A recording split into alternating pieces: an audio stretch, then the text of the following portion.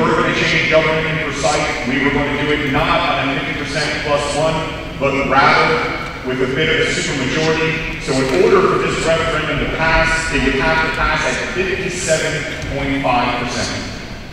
I appreciate your consideration. Good evening, everybody. My name is Todd Jones. I want to thank you. Uh, standing room only. I apologize. Uh, frankly, we're a little bit overwhelmed with the participation. We absolutely appreciate it because one of the things that we wanted to talk about tonight, frankly, was engagement. We're going to just do a couple remarks about that, and then we're going to jump right into the reason why you're here, and that's because of this panel. Oh, I apologize. Yep. Thank you. All right, everybody. Well, thank you so much. Uh, we're going to do everything we can to make sure that you can hear. Uh, I want to first and foremost, I want to thank South, South Forsyth High School. The fact of the matter is they have put their resources out to ensure that we were going to be able to have this type of meeting. I want to I want to give everyone, if you don't mind, a quick round of applause for Mr. White. He's making sure we're making this happen. I want to also note, no matter what side you are on Sharon Springs, I'd like to we're all pro Forsyth County. So there's something big going on tonight, and I mean that. The state of Georgia qualified 16 teams into the World Championship robotic competition in Kentucky. This is no kidding, guys. This is big, this is big business. And at the end of the day, of those 16 teams, six of them were from Forsyth. One from West, one from Lambert, and four from South. So let's go ahead.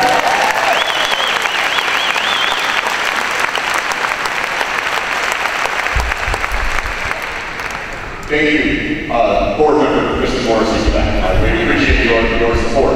Uh, before we get going into the comments, one of the things I want to do, we all know it's election season. So the last thing I want to do is not at least acknowledge some folks. Uh, just really quick, right up here is board member, or pardon me, board of education member Kristen Morrissey. I'm trying to, I believe our commissioners are in Augusta or Savannah for an ACCG meeting, but I may be wrong. I believe the county manager is here, Eric Johnson, so thank you so much for being here. If you could raise your hand or at least acknowledge that you are, Eric, thank you so much. Marc Morris, who is just north of me in terms of representing women, here all the way up. He's here today, so thank you so much from the State House. Uh, did any of our state senators here speak to Joe Michael Williams? Okay, from a candidate standpoint, um, in alphabetical order, Greg Dolezal.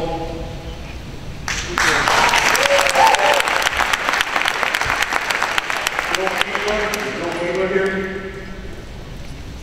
And then last but not least, uh, Brian Tanner made a commitment to the Forsyth Women's GOP to speak tonight. This obviously conflicted, and he wanted to make sure that I announced that even if I was up north having that conversation, and he would have been here otherwise. The last thing I want to do in terms of acknowledgments is uh, there are members from the study committee here, and they worked tirelessly for six months with me, uh, and frankly went through a laborious task to be able to hopefully give you guys great information. So if you don't mind, I know Ted's here, Sriram's here, if any other member from the committee's here, there were 12 of them, if you guys can stand and just be acknowledged. Thank you.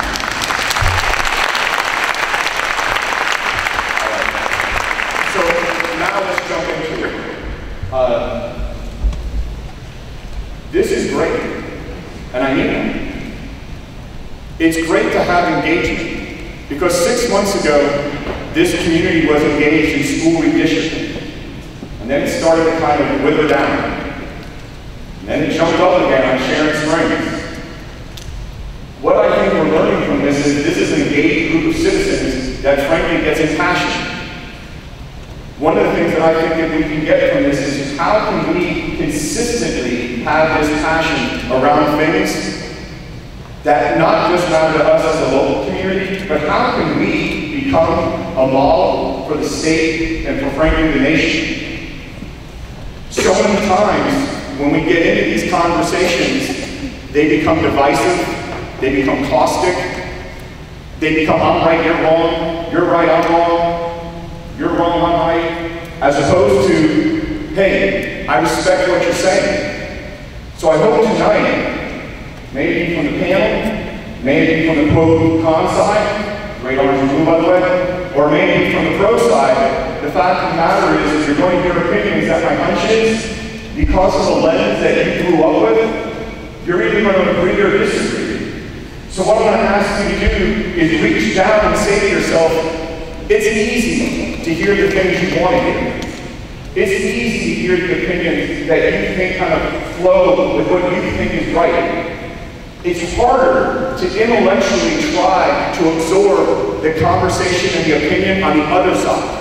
So I'm not asking you to move to that side. All I'm asking you to do is acknowledge and say to yourself, with all my years, 20, 30, 40, 50, 60 years, is this something that at least I can acknowledge? You know what? I'm still going to vote yes, or I'm still going to vote no. But at the end of the day, can we be a model? Because for so long now, maybe redistricting, maybe this, what we have seen is not cordial. What we have seen has been divisive. I don't want to lose friends over this. On May 23rd, we're all neighbors. So the question becomes is, what does that mean? Even if your neighbor is voting opposite of you, the fact is someone's a winner and someone's a loser. I don't think so in terms of winners and losers, but that's how it's going to be portrayed. So the question becomes is, can we rise above that? And I believe we can. And I hope that comes through that great engagement. A quick story, and I think it's important. I got a phone call. Todd, I know for a fact that you're pro city. Well, why is that? Well, I saw you speaking with Philip Barlack. Philip Barlack, by the way, he's a pro. I said, all right, where did you see me speaking with Philip Barlack? And they explained it to me. So then after they got done with that, I asked them, who did I speak with afterwards? And they didn't know it happened to be someone who's against the city. But I hope we don't start getting to that point, where who you associate with or who you say hello to, my representation is of, is of all of them, not just the pro or the con. And the last question I asked that person was, if I'm so pro, then why does the bill say 57.5% to pass? By the way, I moved just on the opposite side for all the pro folks thinking it's con. But the fact of the matter is, I just hope that when we walk out of here, I think it's important that we're able to really internalize what's happening. It's so important that we think of this as a neighborhood, and I think we can. So I think without further ado, what I'd like to do is just run down some very quick ground rules that we set. For those of you who didn't read, uh, all the rules. Not many, but very important. The panel's going to get four minutes. The pro and the con side will go opposite. I'll direct who goes first, but basically each of them is going to get 90 seconds. These nice young ladies down here, one's going to keep filming and one's going to keep time. They're going to give each one of the speakers a minute notice, a 30 second, a 15 second. When you see their hand go up, you know they've gotten down to zero. You'll see them, the basically the speakers go ahead and wind down their answers. This is a way to basically be respectful of your time. We said it's going to be 90 minutes, we will hold it to 90 minutes. Folks are going to stay afterwards, feel free to do one-on-one conversations. Before we get going, bias. Heard a lot about bias lately. Fact of the matter is, we would be kidding ourselves if all of us don't have bias.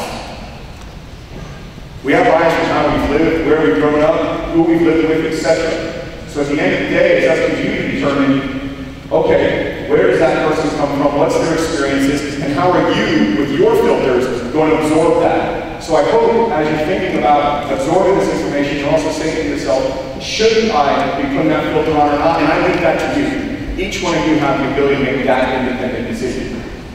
So, I'd like to introduce the panel. Someone took my questions. Thank you.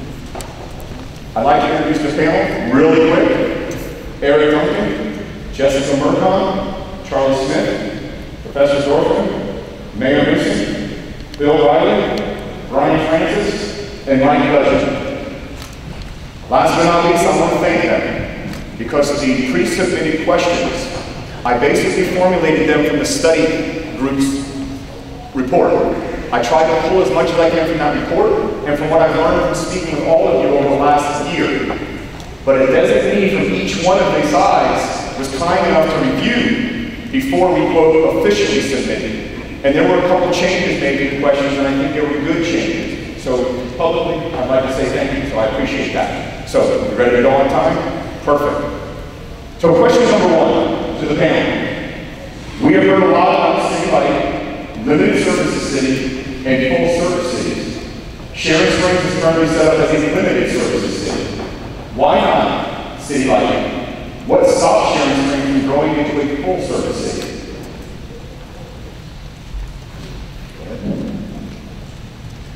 Hi, everyone. Uh, thanks for inviting me to come here. Uh, my name's Mike Mason, mayor of Peachtree Corners. Let me see if I can frame the question in a way that I feel comfortable answering it. Um, that term, city light, limited service city, that was kind of created uh, on my kitchen table about uh, 2011. We were talking to our legislators, uh, State Senator Fran Millar and uh, State Representative Tom Rice.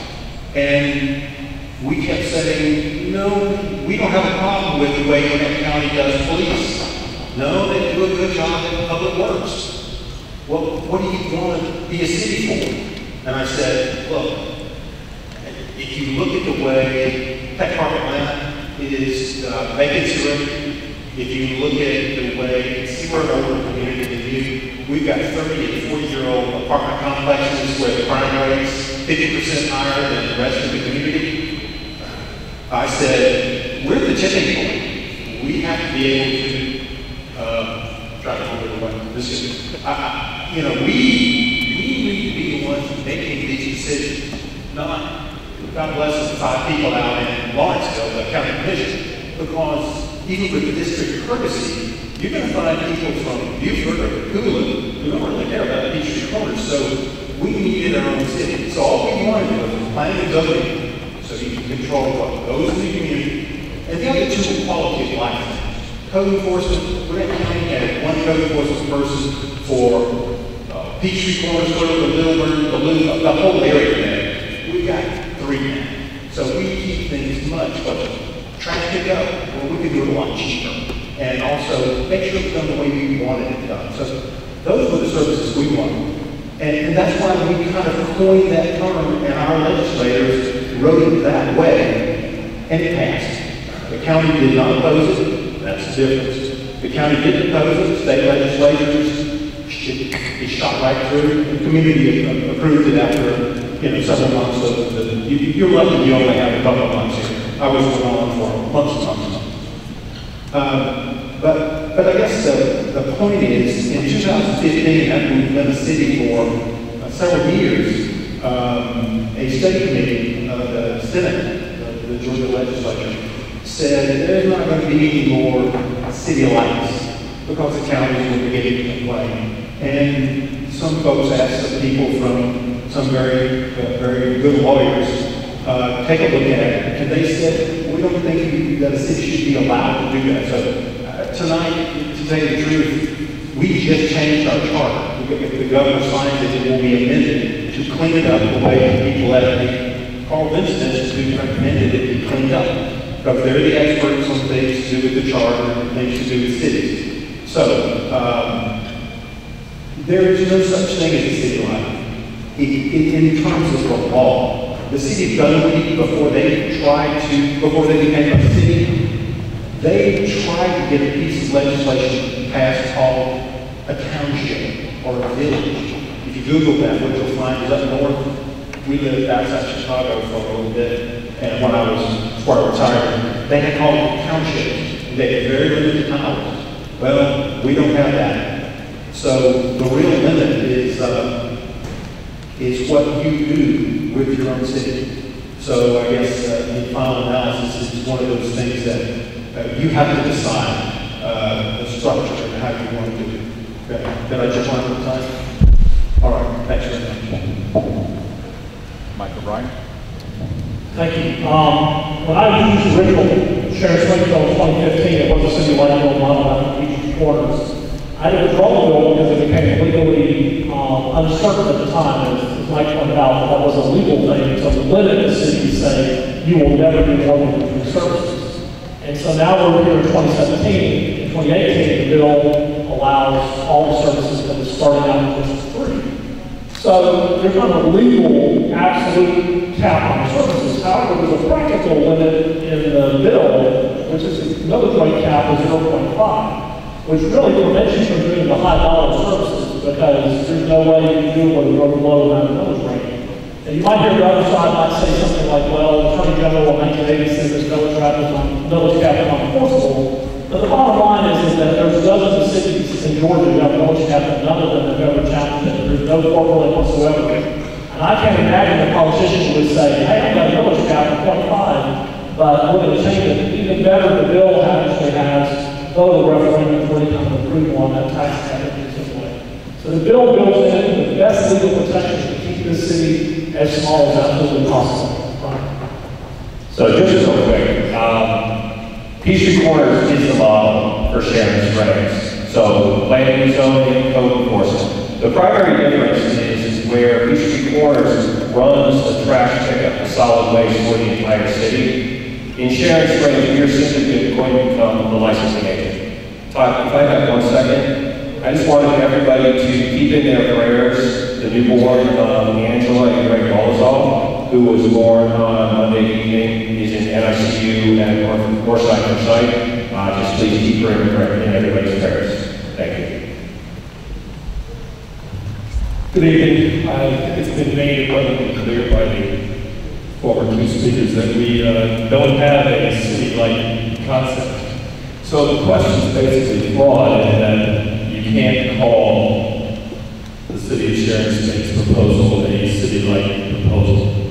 Uh, And Mike Webster clearly stated that back in March of 2016, we modified the House. What does concern me though is that every written document that I've seen recently uh, continues to portray this as a limited services city. And, and as recently as last week, Ryan um, sent a letter to his neighbors stating that the proposed city would be a city light. Uh, Mike also pointed out correctly that the services that are ultimately determined will be determined by the city council. And what that means is that irrespective of what they propose in, in marketing material, uh, four people will determine for the other 50,000 of us what services will be uh, offered. So to address this question more precisely, what stops Sharon Springs from becoming a, growing into a full-service city, replacing our fire department, sheriff, libraries? Nothing. Thank you. Second question, panel. All right, Bill.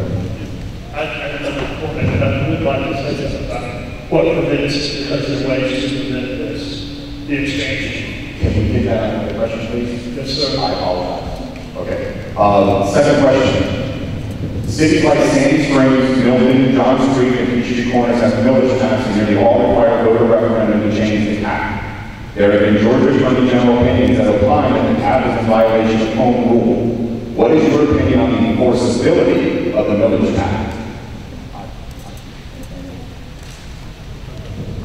Okay, uh, I'm Bill Riley, I'm from the Beach City Attorney.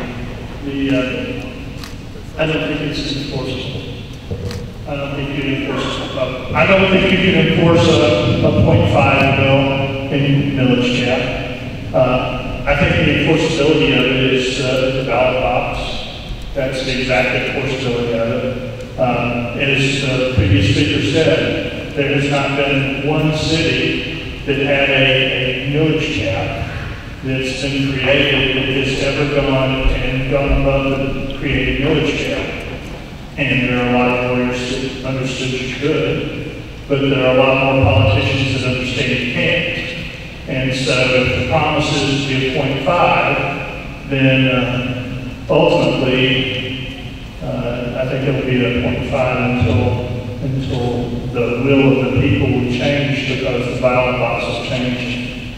Uh, Getting back to this first question for just one minute, is that how do you it from becoming a full-service city? Well, I can tell you, this is what we did in Peachtree Corners.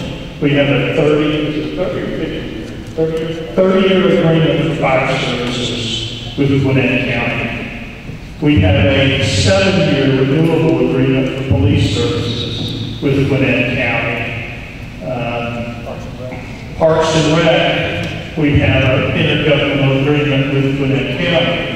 And you can set those for sufficient numbers of years that, that, that you, by agreement with the other sovereign, pass to them the baton of how they're going to deliver services. So, uh, while you have a full-service city, ultimately, you are responsible for police, you're responsible for fire, you're responsible for the other services. You, by agreement with the separate sovereign, can tie yourself up for decades by agreement, so you do not expand your services, which I would anticipate that if you have a city, that's first thing you do in fire and police. Uh, in fire, you do it for thirty, you do it for a thirty-year period or something like that, because of the longevity of the capital cost of doing, uh, fire services, uh, mobilization on police, and their assets are a lot shorter, so you can run it in seven-year, that's why we ran a seven-year income like that. Let me just say. One, we, we have a zero millage rate right now at Peachtree Corners. We have a one mil cap. Uh, in our very first year, we set it at 0.85 because we didn't have any money. And so we needed to get some in. At our first year anniversary, our first, our second budget, we reduced it to zero. We've been fine ever since. That's because we have a strong business community, franchise fees, business licenses, those things work for us. But it's the commitment of the council to keep the promise we made. Whoever said that it's at the ballot box is right. You know, if, if the legislature tells you there is no such thing as a limit in certain cities, it's a philosophical concept. And, and the key is, we do everything with the people who do it cheapest. You don't want your own police department. Let somebody else do it. I mean, two words, Ferguson, Missouri. Why would you want your own police department? Cost us three point three million dollars.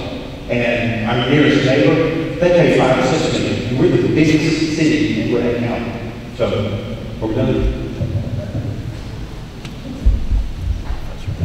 I think they agreed with us, I'm not sure. Uh, The deputy legislative council said, and I think Bill said this, it appears that the millage rate caps are permissible with the caveat that they are subject to being removed by the municipality under its rule powers. In other words, such tax can be removed locally, and by that, they mean the uh, city council.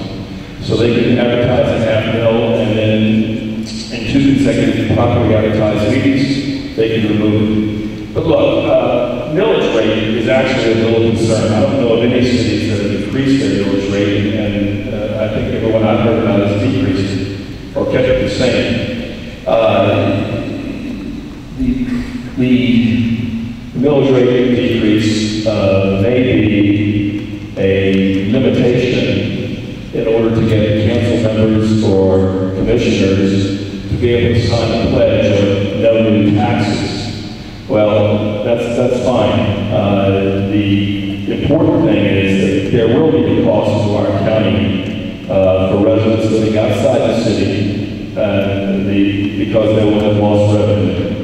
And a cost to us living within the city in the form of franchise fees and other costs that the city council would levy. And that's coming up in the next question.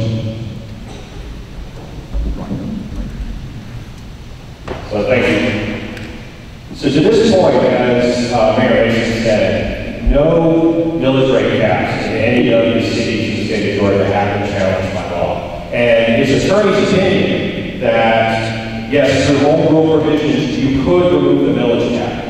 The other thing that has to be looked at is the intent of the voters. So it's been very clear in every communication about this bill that Sharon Springs is a limited services city. So when you vote on May 22nd, you are voting, you are stating the intent that Sharon Springs is a limited services city. And that carries significant weight when being reviewed by the courts. So one of the other things, one of the learnings we have from Peachtree Corners uh, that we got from Mayor Mason was their incorporation date meant that they were not going to see a portion of their revenues, the insurance tax rebates, for another year. So the incorporation date for Sharon Springs would be 12/31 of 2018, meaning that we would be able to get the revenue earlier than they were able to in Peachtree Corners. Thank you. Question three. UGA's Carl Vinson Institute feasibility study indicated that Sharon Springs is financially viable through revenue sources like franchises, fees, business licenses, building permits, and other revenue sources. Can you please explain at a practical level, what are franchise fees? How could they change? And what impact would they have on residents within the Sharon Springs footprint? So good evening, everybody. Um, Franchise fees are essentially rent that the utilities pay to use the city or county's right-of-way to put their infrastructure along the side of the road. Um, Sometimes in exchange, they get given monopoly rights. So if you're someplace where there's only one uh, cable company to choose from, for example, that may have been part of the deal for paying franchise fees. The ones you get from regular utility companies are quite stable. There's no particular worry about them going away over time. There's a little risk with ones you get from cable companies if that gets replaced by new technology that goes wireless and doesn't need to use that right away so much. But, but on the whole, that's what franchise fees are, and they're, they're quite a stable uh, form of city revenue or county revenue, much more stable actually than things like sales taxes.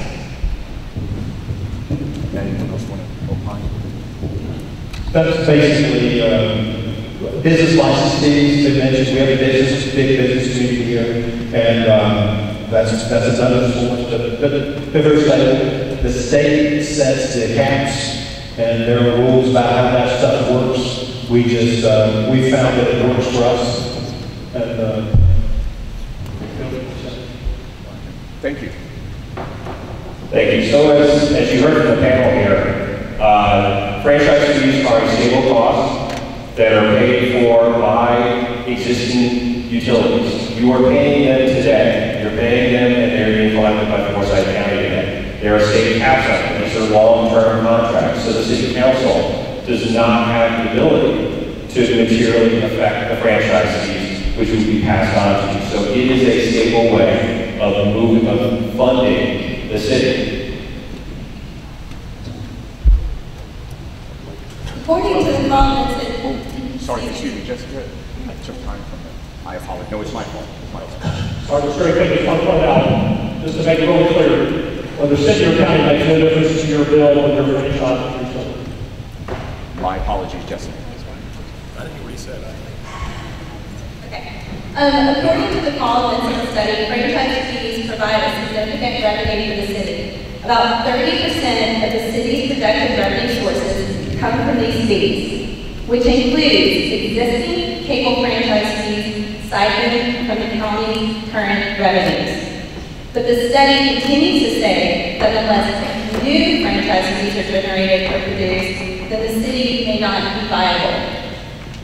Currently, the county charges franchise fees on the cable bills only. The city, though, will impose new fees on electric, electric, natural gas, and telephone. These will be added on your utility bills each month as an added cost to you. For example, the city could collect up to 4% of additional costs on your electricity bill.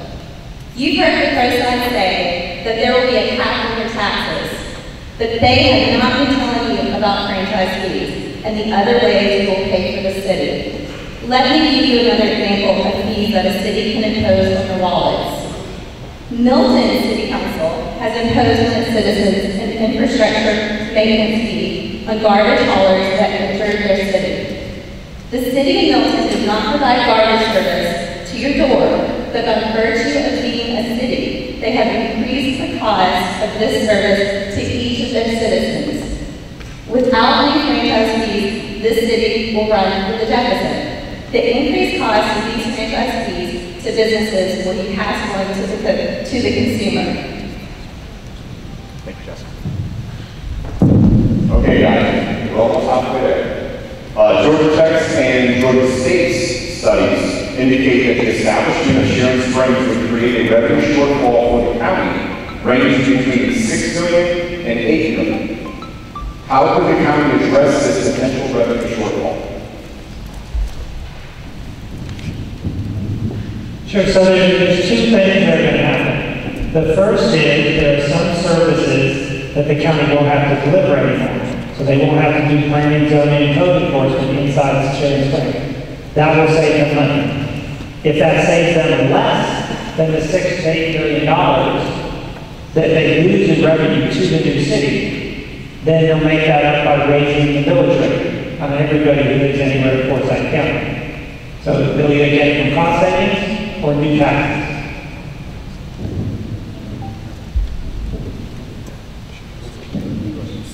I was just going to say that uh, what the professor said is exactly my answer. In other words, what happened with us in Gwinnett County was um, they did not oppose formation of Peachtree Corners. Um, We did tell them we would be uh, a city alike.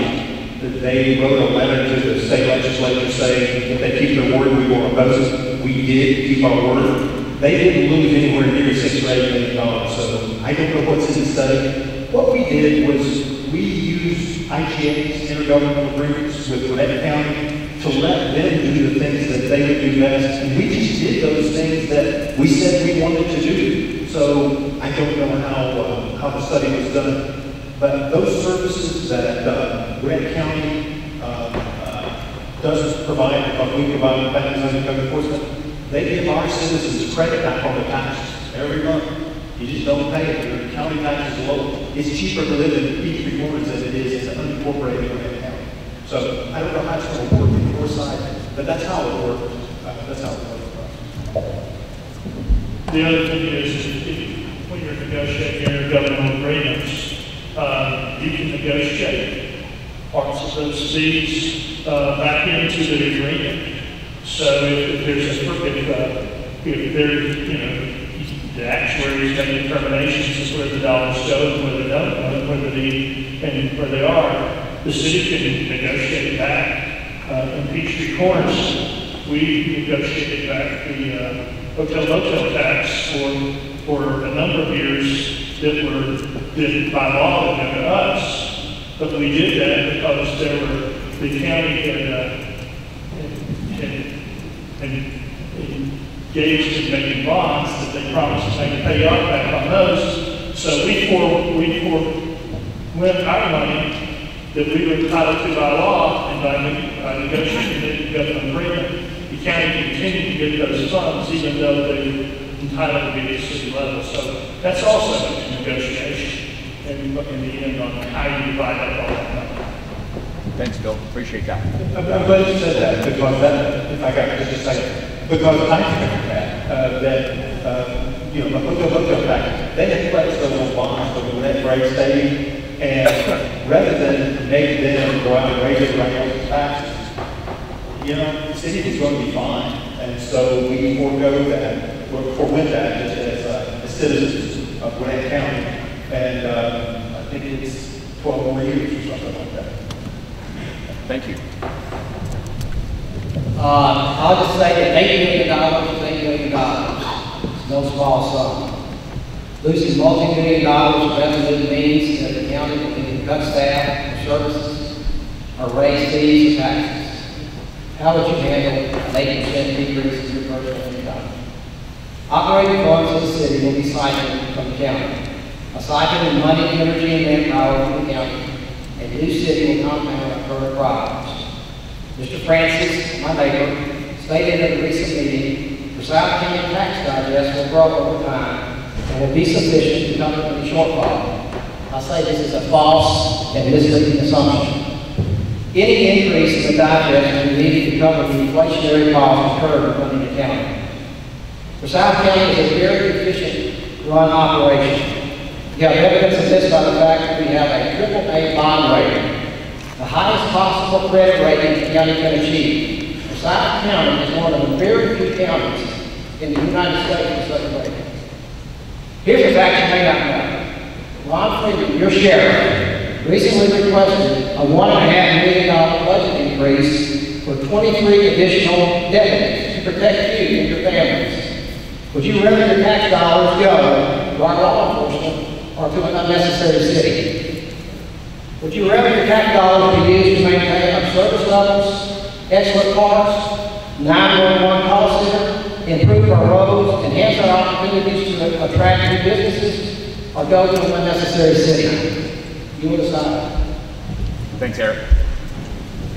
So thank you, Eric. So the opposing side of Sharon Springs has portrayed those of us in favor of the city as wanting to break up Forsyth County, as wanting to destroy the way of the way of life that we have here. That could not be further from the truth. At the end of the day, we are all citizens of Forsyth County, and it is in our best interest to make sure that Forsyth County and the city of Sharon Springs continue to be successful. So in terms of taxes, so we have pledges that have been made by the current District 2 and District 5 commissioners and the two candidates running for District 1 that there will be no millage rate increase, regardless of if the city passes or if the city does not pass. There will not be an increase in your millage rate going forward. And I find it interesting that we are one of the most deeply red counties in the nation. That when a report comes out that says there's going to be a revenue shortfall, that the only option that the no side has was if you had to raise taxes. I was going to point out also that the last year, the county tax revenue from 17 to 18 went up from 90 to 97 million dollars. Because our property tax increases going up because of property values, and uh, other revenues are going up anyway, all you have to do is say, hey, county, you're going to freeze expenses for the year, which is a great Republican thing, and if I was to say that about your government, you wanted to reduce or to freeze expenses, you think that was a great thing. Point is great. This whole thing about eight million dollar, um, thing, forcing the rate is just, is just a tactic. Thanks, Mike. Next question for the panel. When I walk over to your campaign, and now the actually set this aside, I appreciate that. I consistently hear the same three issues. Out of control growth, too much traffic, and overcrowded schools. A clear majority of the audience would likely agree that infrastructure building and maintenance are critical. If Sharon Springs is established, who would be responsible for road infrastructure in the city limits? Who would fund that development and maintenance? Uh, That's one of the reasons we wanted to have city. We wanted to be able to decide when our roads would be paved. Uh, Up here is probably not much different than it is in uh, Gwinnett County. You've got state roads, like 141 out there. You've got uh, county roads, and then you've got city roads. The city streets in our city are subdivision streets and the ones in office parks. That's what we're responsible for. But we always work jointly with the county and the state to maintain the infrastructure. So you want to make those decisions as close to home as possible uh, to maintain it. However, uh, the heavy lifting, those things, and and I go back to, you need to take a step. Right now, it's very divisive between you and, and of course, I have, I get that. What you have to understand is, they do a better job of some things the city will do. Do those things that are, are best for you and you really will find that are important. Infrastructure, uh, our citizens love the fact that we maintain the right ways, that we mow it, that we keep cleaned up. And so, uh, that's, that's important to us. Quality of life is very important. The,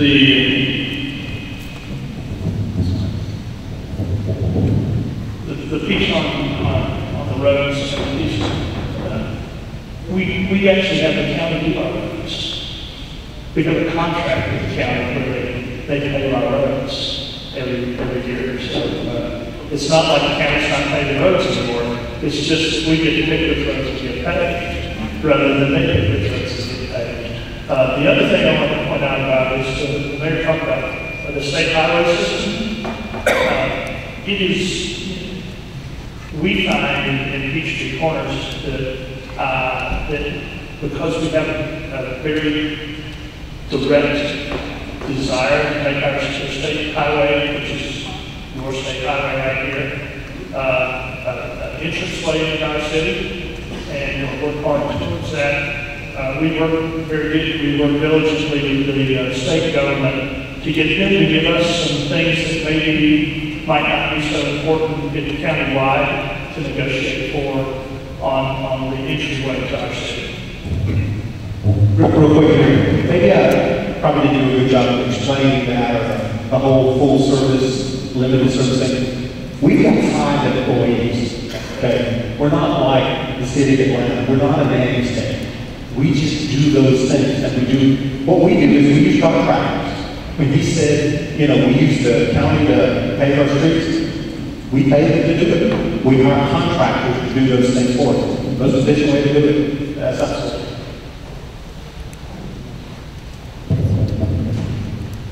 Okay. As the town said, the city would become responsible for the roads. It does not mean we have to trade the new Department of Transportation and all that other stuff at all. Logic would say, I think the full intent, is that it would be contracted with the county in order to continue to do what they're doing. It gives more local control about exactly which roads do in the area. And yes, the city maintains the responsibility. It does not force a tax increase. It does not force trade or bureaucracy the of Peachtree Corners having five people. But an important point is this question talking about overcrowded schools, we talked about eight million dollars. When I was on the school board, we opened five schools in years 2008 and 9, in the year of. These schools are tens and tens of millions of dollars. Overcrowding in our area is causing the continued pressure to open schools. I don't know the exact number, but we spend probably an average between 30 and 80 million dollars a year average now just on building new schools.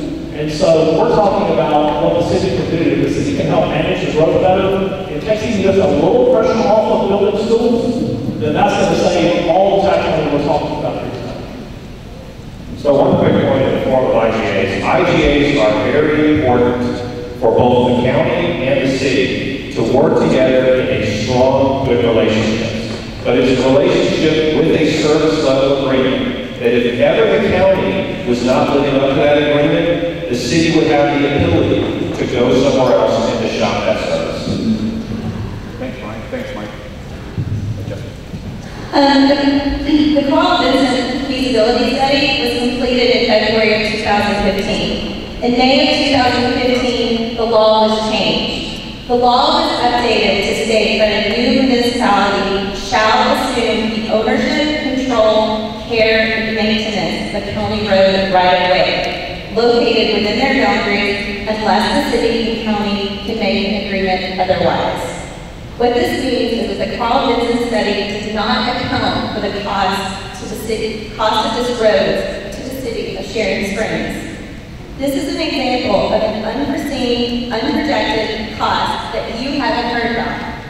Let's talk about roads and the cost to maintain those roads today within the Sharon Springs area. The county currently receives county insurance premium tax revenue, which pays for the design and engineering of roads for all Forsyth County.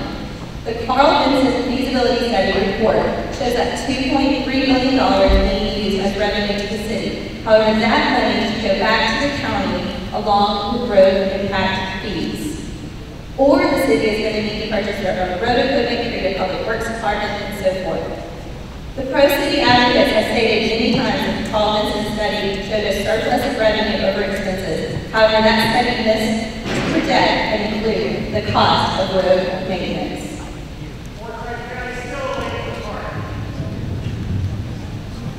Thank you, Jessica. I appreciate your answer.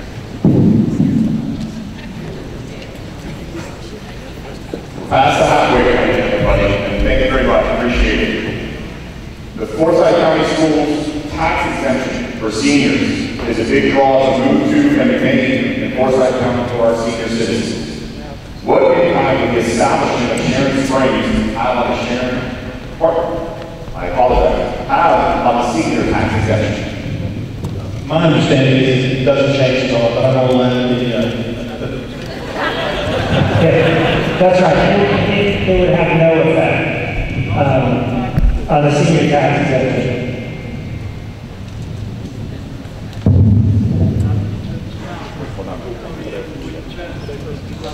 Uh, as background, in uh, 2000, the voters passed a referendum initiated by State Representative Tom Knox, approving a homestead exemption for all school and or taxes for senior citizens 65 years of age and older. This passed by 77% of the vote. This tax relief for senior citizens can only be changed by another referendum vote of the Forsyth County citizens. This is the procedure despite what Forsyth County HOA or homeowners associations and you believe. Contrary to any rumors you may have heard, we have no reason to believe the senior citizen tax exemption is going away or changed. Thank you, Eric. Before I get to senior center, I have to rebut what Jennifer said. When that bill came before 2015, I'm calling Chairman William Williams of Sharon Springs. It was codifying common law and affected cities incorporated after 2005, including our friends in Peachtree Corners. They did not have to do all the road and things like that. That's a total false front. Speaking of false front, uh, the fact that the no side had to come up with this argument about senior exemption shows that they're scared they were willing to tell falsehoods to you. I saw the dinosaur out the hall of Titans The no side is creating all these sort of scary monsters around taxes in order to frighten people from making decisions about what level they want the local control to be. And it's really unfortunate that we scare our seniors or something like that. It's very simple. City or no city has nothing to do with senior. So it it just continues. I mean, most of you may have received this flyer in the mail from the no side.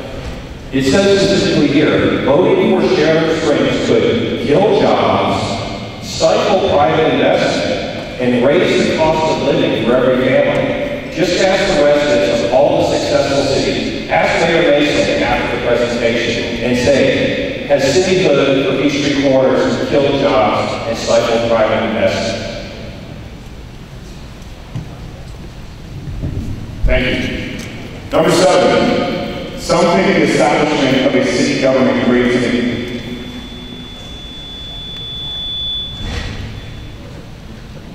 Some think the establishment of a city government creates an additional layer of government. Others believe that more government mean, does not mean more government. Do you see the creation of the city as the former, another layer, or the latter?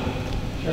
I think the correct way to think about this is that forming a city is adding another layer of government. The reason you do it is in hope that the new layer of government will be more responsive to your local needs and will better align local revenue, to local spending. So I don't think you should pretend it's not more government, you're hoping it's better government.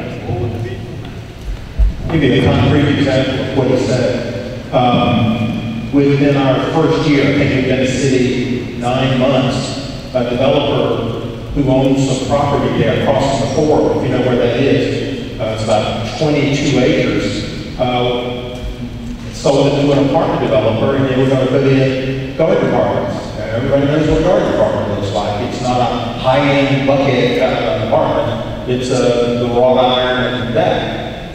So we were faced with a choice in our first year, and we bought it. We just borrowed the money, eleven and a half million dollars, and bought it. Oh my goodness, you know, that was very controversial. But the simple fact is, if we didn't want those apartments there, we had to do something. Why am I telling you this story? I had immediately, the county commissioner and all kinds of people who were familiar with the county's ability to do things said, thank you, that's proof positive you needed a city, because otherwise you have low-end garden apartments crossing the high-stand shopping in the community. Two years later, a church there on uh, the Chattahoochee River, uh, Simpsonwood Methodist, wanted to sell 248 acres of prime, beautiful forest on the river part, and they were going to sell it. They were in cash, they had cash so they wanted to sell it. The county could only offer 14 million bucks. The developer was offering around 20. The city was able to give the church $2 million to make up just enough so that they accepted the county's bid. The county couldn't do any more, but for the city, you have that. And, and that's my point. Yeah, you may call it another layer of government, or you may call it a separate layer of government, esoteric. There are reasons for it. Sure. The, uh, of things another layer of government, I don't really think I think it's an alternative portion of government. You have your, you have your school board, they're a separate sovereign, um, and, and they deliver school services. Uh, you have, you have your county, and your county has historic county services. What you've seen counties do is come and start taking city services. And, uh, what you're actually seeing here, if you determine you want to do it, is you're peeling back the, the county to its historic services and, and leave, and leaving the city to deliver city, but this, usually the city, city services. So I don't see it as another layer, I see it as a different, a sovereign that delivers different services to you.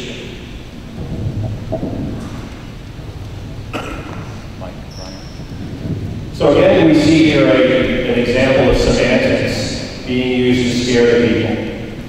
So you're familiar with cake. You one piece of cake on top of another piece of cake. And that's not what we have. It's not that we're going to have a planning and zoning commission in Sharon Springs that will then report to a planning and zoning commission in Forsyth County. We are replacing those services that we feel in Sharon Springs are not being effectively delivered for our area. Planning and zoning, code enforcement.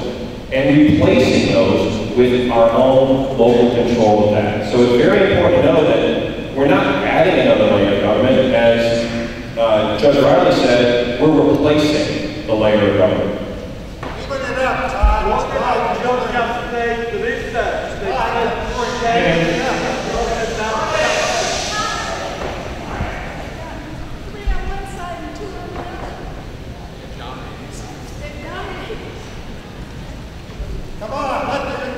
Let,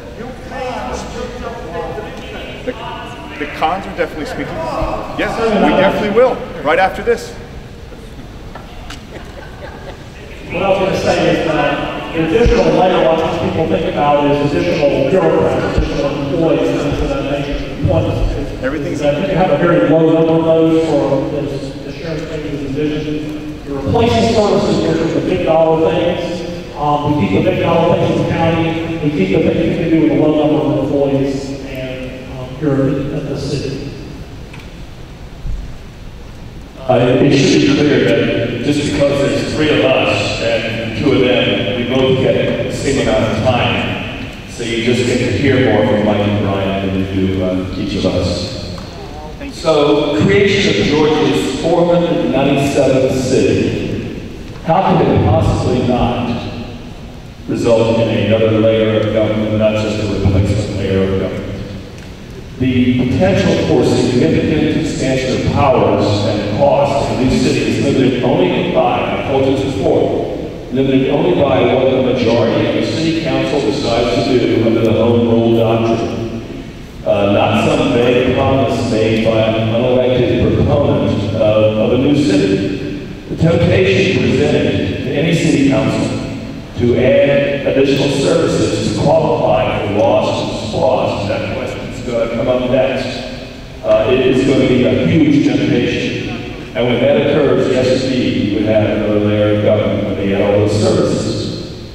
Currently, there's no regulation, for example, at the user level for your garbage pickup in, in our county for residential garbage hauling. If the new city brings this in-house, even to the limited degree of, of licensing a specific caller, um, is, is that not an additional layer of regulation? It, it seems to me that it is. Thank you. Let me just detail out what Charlie tried to say. Both sides were given the option to have up to three speakers. The pro side decided to have two. That's their decision. I'm not going to tell them to have one, two, or three. Charlie, Jessica, and Eric have decided to represent the con side. But in terms of time, I want to say it one more time just so it's clear. It's four minutes with the panel, 90 seconds, and 90 seconds. And we've been having the same timers go through four, 90, 90. Now, on a couple questions, they've gone under four. I think one, you guys have gone ten, Joe, and one, you guys have gone ten, Joe. But I think all in all, everyone's gotten basically equal time. Uh, eight, you are right. LOST is next.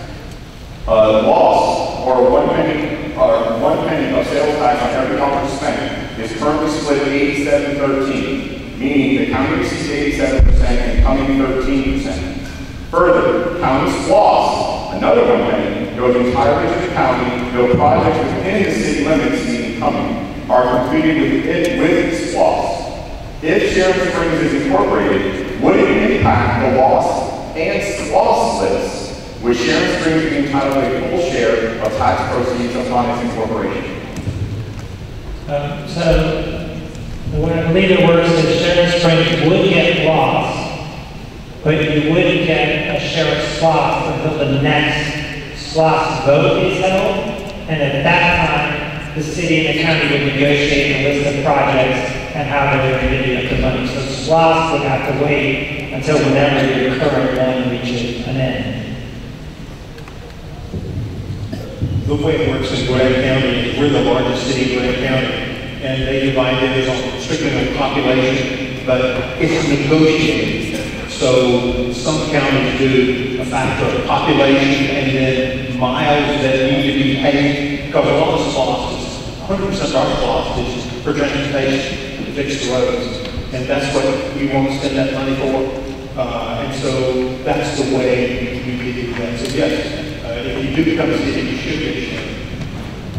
Well, as my understanding, I'll give this to Chris Pike, because I didn't have the answers, so I looked at Chris, who is the finance director, who lives as the finance director in Dunwoody. And as I understand it, your SPLOST is all tier one SPLOST, those are countywide projects. The county's entitled to, uh, is entitled to a SPLOST for tier one projects that could go throughout the county, and they don't have to divide that up amongst the cities. Uh, it- But uh, that's, as I understand it, is SPLOST. Your loss is, is uh, subject to a, a, uh, a rata share. Uh, They, if they were really dividing the rata right now, as I understand from the numbers you just told me, that uh, you have 200,000 people and 5,000 that are coming, they should get, they should get 13 percent. And they should probably get uh, two, two and a half percent if you do it pro rata. And if you're at fifty, fifty thousand dollars in loss, to you probably, you could get up to, uh, one quarter of the loss to hundred thousand versus city. Now, having said that, let me go back to your intergovernmental agreements, because what I'm understanding the arguments might be, is that the county needs that money. And you have that LOST money, but you have the ability to use that LOST money to work with the county to secure those kinds of services that you need from the county. Uh, and it just as, just as we do with SPLOST money in Gwinnett with uh, our paving. We give them all our most all of our SPLOST money back. So they will pave our streets. They maintain their crews. They, they, we give the power of them uh, big, having bigger bids than us that have a smaller bid, and we get better prices, and they get better prices for joining with us. So while you're entitled to twenty-five percent of the, uh, twenty-five percent of this LOST money, that money may flow straight back to the county based on negotiations on how you deliver services. Jessica, go. Okay. Um, first, let's talk about SPLOST. The city can participate until 2024. If they do participate, what do they plan to spend the money on? SPLOST is used for our greater parks, our transportation, and our libraries. How much SPLOST goes towards zoning, planning, code enforcement, and garbage? None. This is an unnecessary city if you're looking to pull SPLOST. The proceeds side on the flyer. It says by incorporating, we will have a say in how our funds are spent or allocated in the area. It talks about thirteen percent sales tax revenue that Cumming gets. It implies that the new city will also negotiate to get part of this money. If the city of Sharon Springs provides only zoning, planning, code enforcement, and garbage, they will not qualify for these taxes. This message from the pro side is concerning to me. If pro city advocates are indicating they will give a share of the sales tax, then which other services do they plan to provide in order to qualify? Are they going to take over our fire stations or create a new city of Sharon Springs Police Department? Are they going to take over our newly renovated and expanded Sharon Forks Library? In order to get LOST money, this city has to expand and take over the incredible services that our county provides today. What is the intention of the city? City light or a full service city? That we need to know. Okay. You know, we hear these on the no side, think that, uh, you know, Elvis is gonna walk around the corner of Meteor is gonna strike the building and kill us all for these apocalyptic scenarios.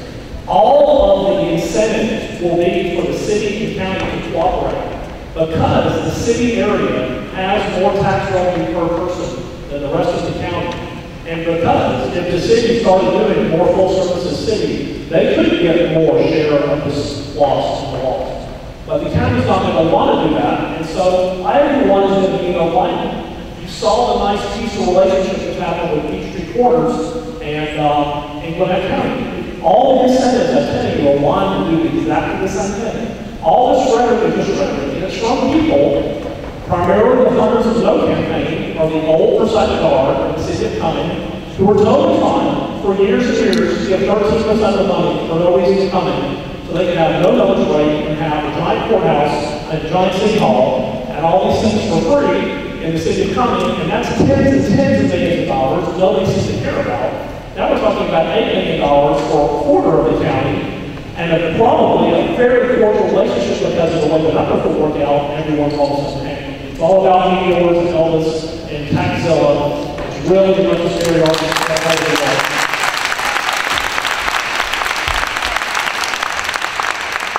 everyone, give you an update. There's only two questions left. One is actually going to be all three groups, so that's at no no more than seven minutes. One will just be the pros and the cons, so that's no more than three minutes, so there's 10 minutes left. I promised you guys no more than 90 minutes, and I said if we had time, we would take four from the floor. Okay? So it looks like we are to have time. And so I just want to make sure that you knew, I know everyone has commitments, but I want to give you just a quick time check. We have no more than 10 minutes left in the pre-submitted, and then there is going to be idling time uh, up to those four questions, okay? So let's just go ahead and move on to number nine. Pro or con? And I'll, this isn't in the question, guys, so sorry. None. It's kind of like you know the test. It's like we're at high school, you know the test. It's like. Yeah, but in all seriousness, one of the things, and this is off the script, one of the things the study committee talked about a lot was our brand. And we all, we all love the county. And the question becomes is, who are we? You know, when you think about who we are, you hear different things. And we talked about things like, is there a way to start branding us? Is it, is it as a tech corridor? Is it family? Is it culture? Is it a combination thereof? If you start thinking about the counties and the cities around us, you start thinking about do they have an identity that we don't have? So I just wanted to give you a little more color before I go dropping into this, this, this question, that this took some of the study committee's comments, or pardon me, thought process, and the reason it did was we knew it wasn't our charter to talk about the, brand. That's something that the county commission I know is working on, and, and we want to support them 110%. But I just want to give you guys some color in terms of where this question is coming from. It really comes down to who we are, and then how do we brand ourselves to basically bring business in, bring more people, basically make this a community that frankly is the envy of not just the state of Georgia, but the entire country. So with that, sorry off. All right, pro con. Many voters have talked about improving the brand of South County. Today it's all Cumming, Johns Creek, Alpharetta, Suwanee, and Duluth. How will the incorporation of the city address this branding issue? In general, how does a community create a sense of place?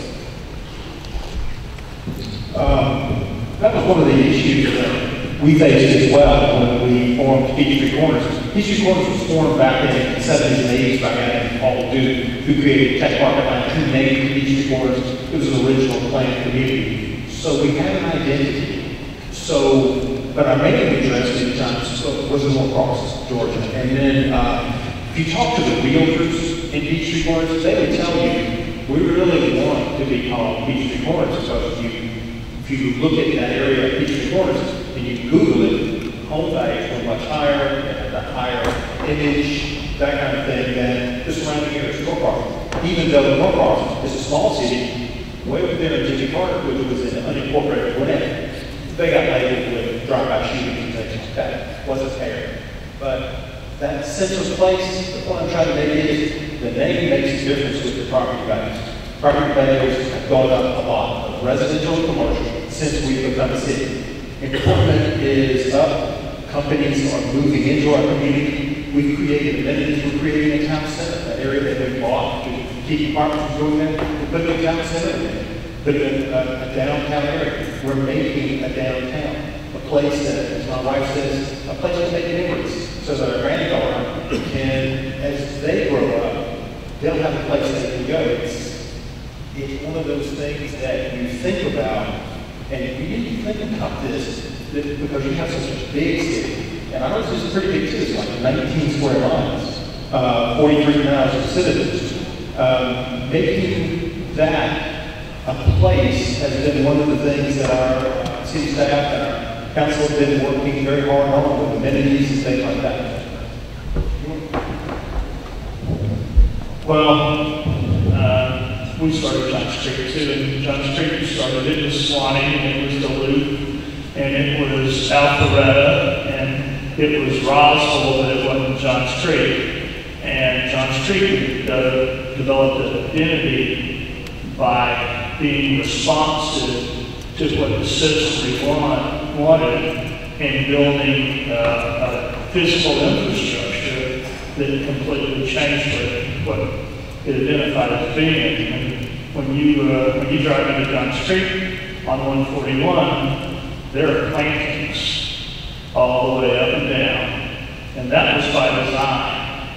Uh, that was when our first city manager, he said, we're going to brand this, people drive in and you see the physical infrastructure, you know you're here. And that's one of the things they did. And, and the same thing in Peachtree Corners, we were, we were Norcross. And, and still driving a little crazy because you have the Norcross address. But it the, the more you do things locally and the more that you do things as a community together, the, the more it becomes what your vision is for where you want to live. And uh, that's one thing I think a city gives you an opportunity to do.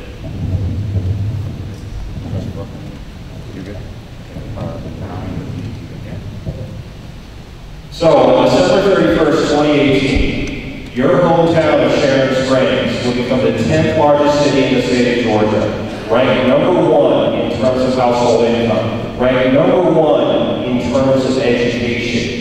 You already have the brand of a great city. Look at all of the cities that have been formed over the past years in the north part of Atlanta, and look at the successes that they've brought. Sandy Springs, Roswell, Alpharetta, Peachtree Corners, Johns Creek, every single one of them is booming and is doing great things for their residents. Sharon Springs is next on the list of great cities in Georgia.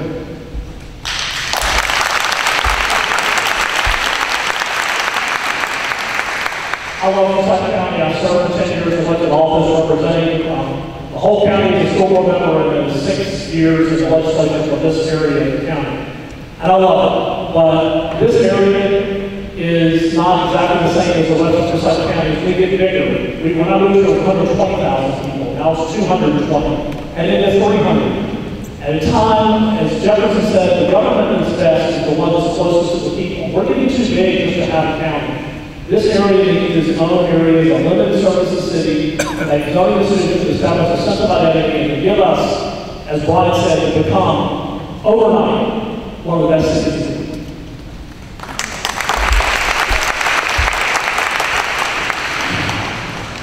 A city may give you a mailing address, but it doesn't give you an identity. Identities are developed over time thought and reputations earned. For example, the identity of Forsyth County is highly respected throughout the state and the nation. Why would we want to distract from that image with an unnecessary city? One that will start only with an identity of being a divisive force that seemingly can't work with elected officials. Forsyth County brand has had a tremendous success over the last two years in increasing the commercial portion of our tax digest from 19 to nearly 30 percent.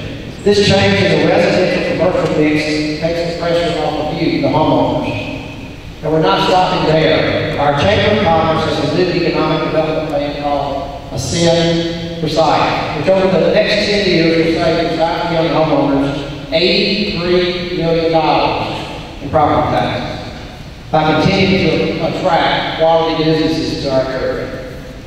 How does the city of Sharon Springs plan to build their brand Will they need the chamber of commerce? How will their efforts stand up next to the Hollywood plane for South County plane? Or will the city Sharon Springs muddy the water? Somebody may just throw up their hands, decide to wait it out until the dust settles, or decide to choose another community for their home. A loss for all of us. Forsyth County brand is real and it's proven. Don't mess it up with an unnecessary city.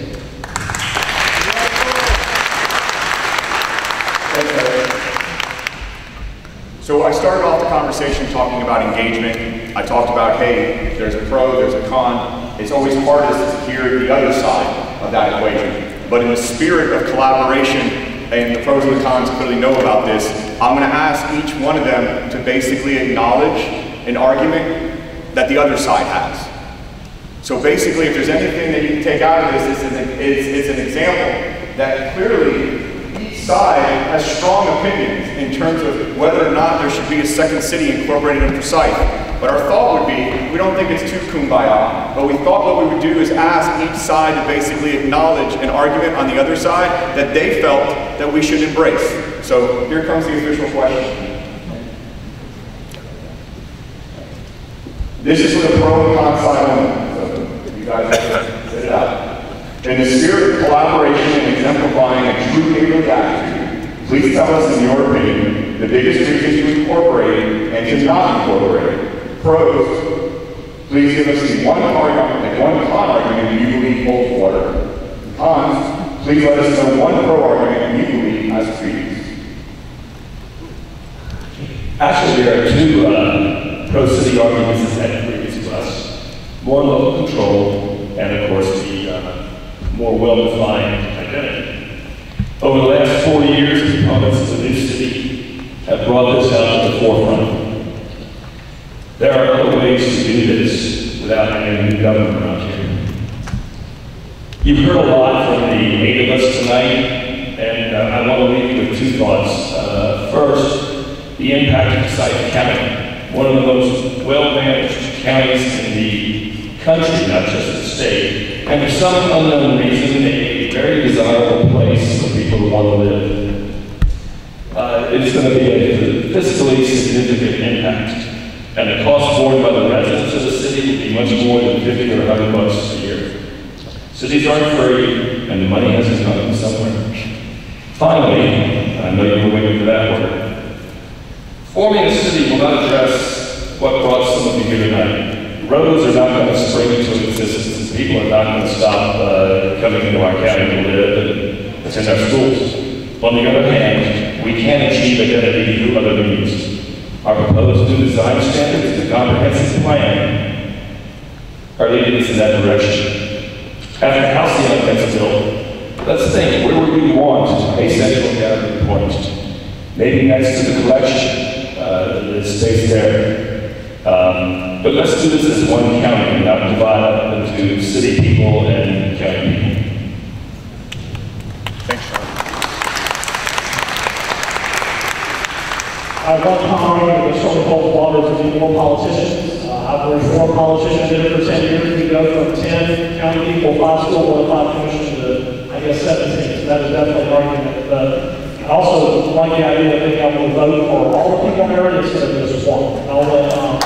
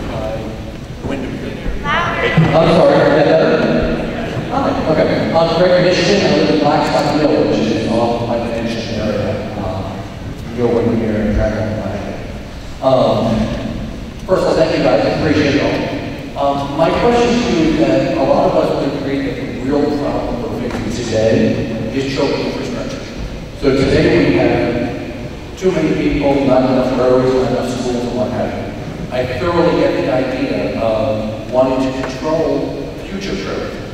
But I'm really curious about how this city is going to make the situation better or worse with trying to fix the existing infrastructure that we have today. Thank you. Oh, well, you need a mic. Hold on.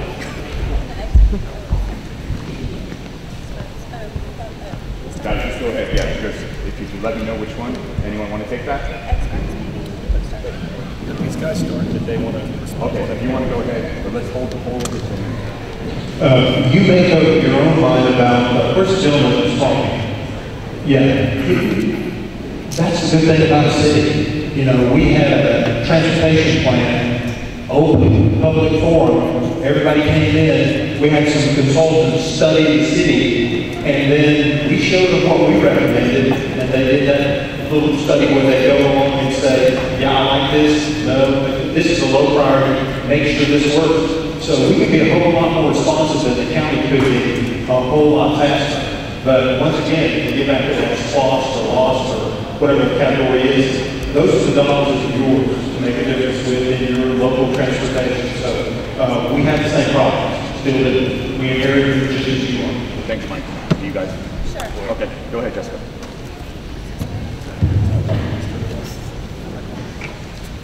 Hey, okay, so I live in Milton, when Milton became a city, and there's this myth, I call it a myth, that zoning and planning can stop crowded schools or the growth of schools. Despite, in 2006, Milton became a city, and there were still new schools being built and redistricting that happened up until about 2015. So that doesn't necessarily stop the need for new schools. Um, also, from a Forsyth County perspective, guys, I've gone through the capital expenditure projects for the next five years, and over 67% of transportation project, projects are being spent in the south end of Forsyth County. We, Forsyth County, puts so much money into infrastructure in this area. It is being spent here, are roads being built, and this is why I sit on the opposite side of the pro side, I am against the creation of a new city. So those transportation projects still continue to be built because Forsyth County will still manage the road. So what is it, how can the city affect schools and the congestion? So when the school board looks at where they're going to put new schools in, they have to go on a comprehensive plan for the county. What we've seen and the reason that we have been pushing for local control planning and zoning is that there is, yes, a county UDC, there is a county plan, but every zoning variance, every brand road uh, redevelopment, where they create a moonscape uh, in an area that is one of our designated commercial areas, that goes against the UDC and goes against what the school board was planning. So you just went through a very, very contentious redistricting, moving students from Three Chimneys, from Lambert to South to, in essence, fix and balance the number of students in South. And now you have a new development that is not on the plan that is going to add students back in the South.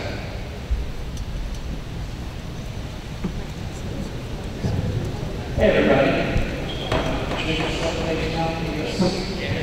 Hey, everybody, my name is Tom Davis. Know a lot of. Uh, actually, on a garbage truck, Winchester Sanitation. I've been uh, servicing the county for about 17 years. Now, um, one thing about this garbage that happens, when everybody got uh, no more garbage beside the can. It will be automated, and Christmas, Thanksgiving, not gonna. And I've had subdivisions in what's going to be the city for almost 15 years. They love my service because they put anything out. I said, mattress, my question is, y'all think that this is a good idea about the waste? Because you take a number of houses in the city, and you multiply that by 16, 18 dollars a month. Then you put that out for bid. There's one, I've already talked to all the other garbage haulers. One company's already going to get this bid. That's already been marked. That company bankrolls all of the campaigns, every politician in this county. And I believe this is what this bid really does. You know? So my question is, do you think that the garbage being put up for bid is a smart way to do it? And then real quick, Mr. Beavis, I can't give you where you live. I live, I live in North Forsyth, my hands. Okay, thank you. Thank you. All right, here, I need the microphone.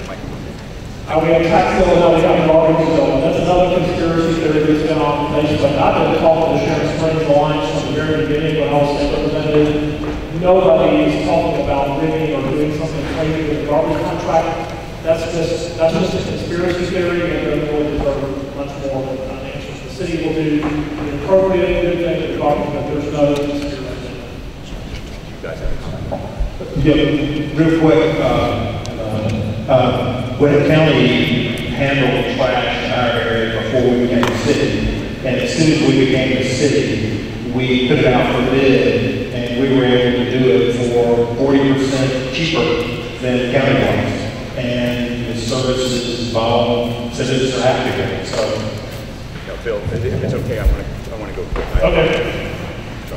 Yeah, um, I, I think you guys already had traction with with that, when you had that, so you have to with it that way. Um, I agree with Mike, uh, I don't think this is going to be a one hauler takes all. Uh, it could be, citizens can choose their haulers as long as they're licensed by the city, but guess what? It doesn't matter at this juncture, House Bill 626 does not provide garbage service in any form whatsoever. It provides for a new city. And the city council, when they become elected, they're gonna wake up on the 8th of November and all of a sudden they're a mayor and, and council people, they're gonna make this decision about what services they're gonna offer. Thank you, Charlie.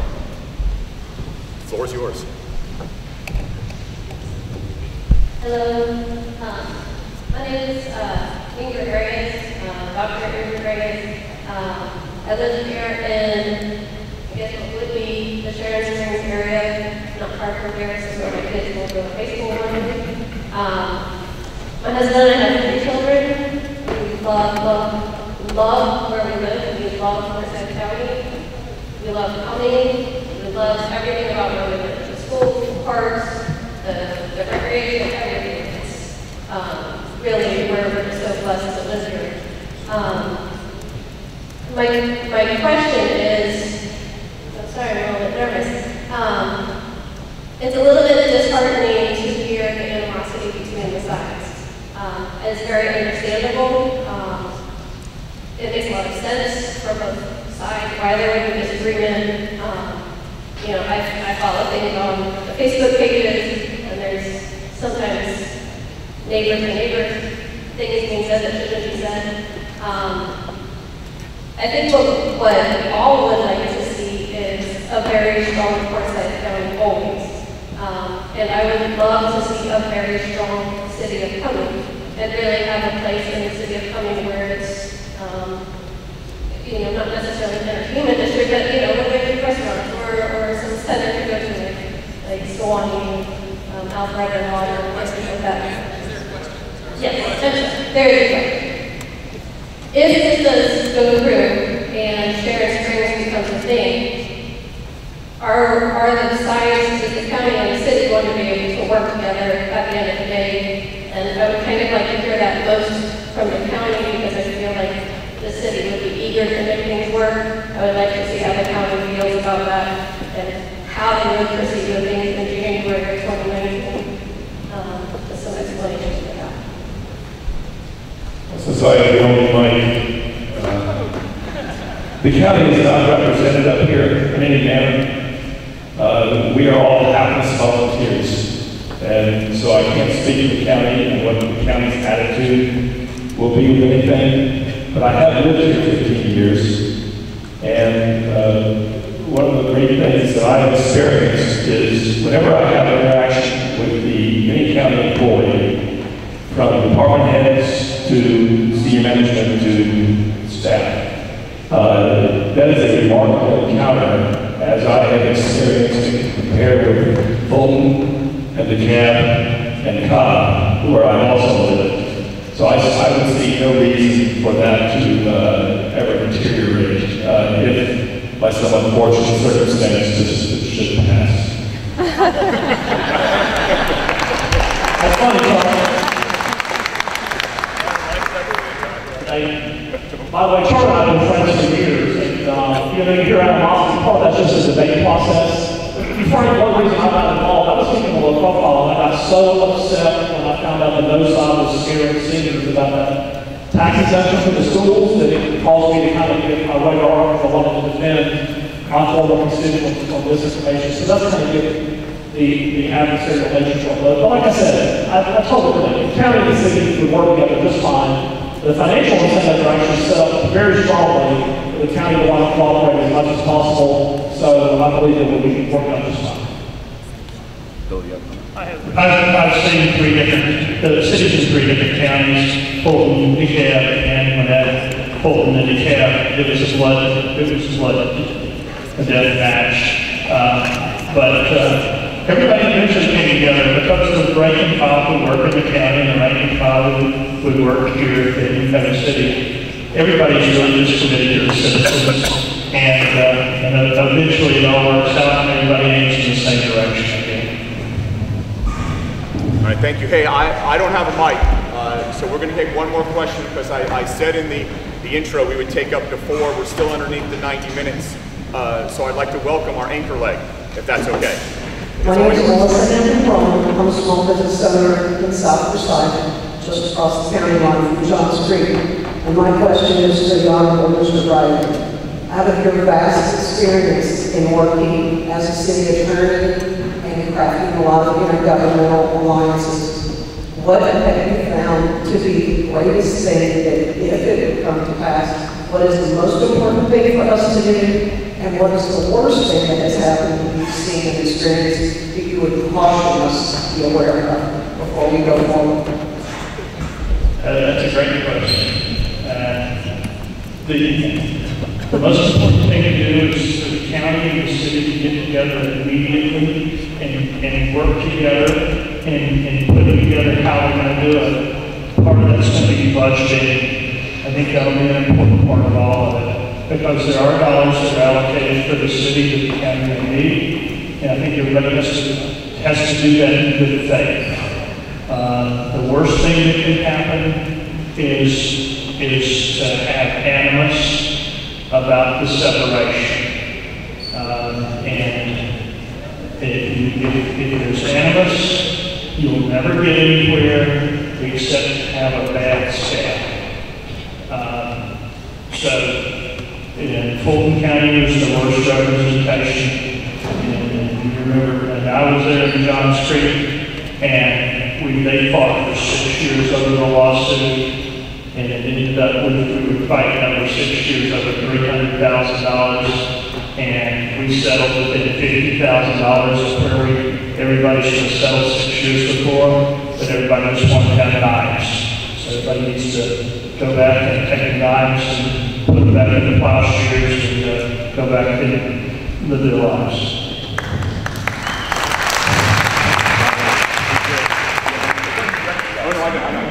I don't want to feel like a I'm eminently unqualified to answer that. And you're eminently unqualified, so here, I'll take the mic.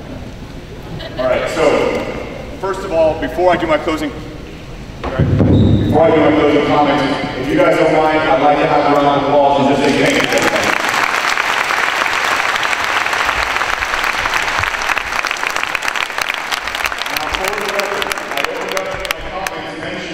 that someone had inferred that because I saw someone and said hello, that means I'm on one side or the other. For complete transparency, no one up here was paid. However, I am inviting you all to dinner, and I'm going to pay the check because I feel it's the right thing to do.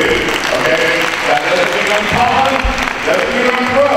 It just means I'm a guy over you in a glass of bourbon. Um, okay, maybe two. in all seriousness, the second to last lady, I apologize, I didn't get your name. If you're still in here, please see me uh, or see Eric Johnson. Your commissioner is most likely Commissioner Brown or Commissioner Semanson. You should have a conversation with one of them or have a conversation with Eric. Uh, he's the county manager, the second to last lady, and thank you very much for your questions. Last but not least, and this is a serious, serious comment. I thank all of you for the right, the honor, and the privilege to represent you. I think I speak to the committee that we feel as if we have pushed forward everything that we could do in terms of the websites, in terms of educational opportunities, in terms of being open for questions, comments, and name it. This represents my last active participation in, quote, the Sharon Springs debate.